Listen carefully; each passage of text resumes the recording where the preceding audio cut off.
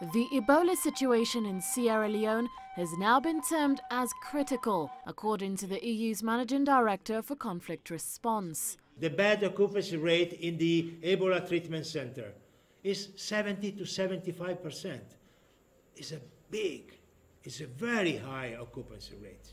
Means that there is still a huge number of people that are in need of treatment and isolation.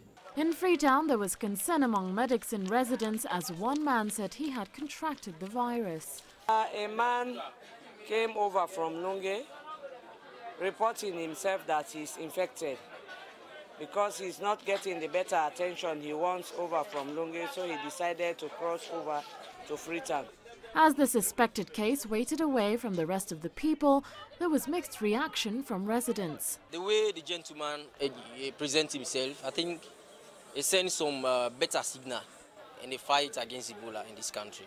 Because uh, we have good number of people who, most, most cases, when they, they are aware the signs and symptoms about Ebola, they prefer to keep themselves indoors or their, their relatives prefer to keep themselves indoors.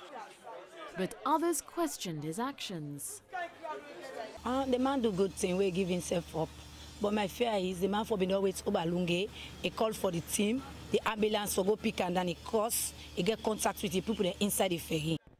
Sierra Leone has recorded 1,200 deaths from just over 3,400 cases of Ebola, according to the latest UN data. Maria Galang, CCTV.